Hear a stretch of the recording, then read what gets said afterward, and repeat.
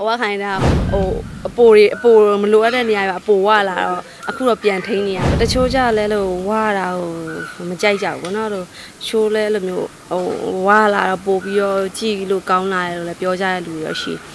ညီမကတော့အခုဒီအနေအထားလေးကိုတော့သဘောတော့ကြာရဲဒါပေမဲ့ဒီအနေအထားလေးကိုမှဟိုကိုမှရှိနေတဲ့အစီပိုတွေပေါ့မလို့လာအပ်တဲ့ဟာတွေတော့ကျမ်းမာရေးအတွက်အဲ့တော့ short တင်တာလေးတော့ short မယ်လို့တော့စိတ်ကူးရှိရရှင်အဲ့လို gym နေပါလေသွားစောဖို့တော့စိတ်ကူးရှိအခုတော့အိမ်မှာပဲပေါ့လေ့ကျင့်ခန်းနည်းနည်းပါလုပ်တယ်အစားတောက်နေပဲဟိုရှောင်ပြစ်တာတော့များပါတယ်ဟုတ်